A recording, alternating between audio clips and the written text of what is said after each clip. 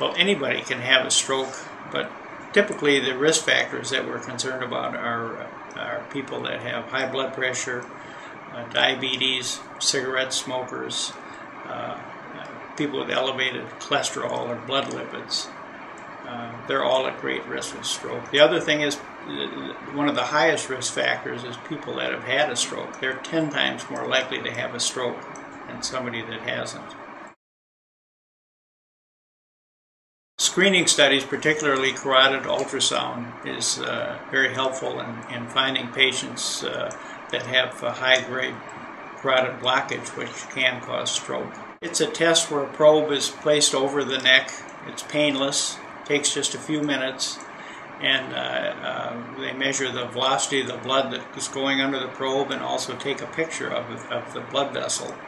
And uh, through a formula, then you can figure out how much blockage is there.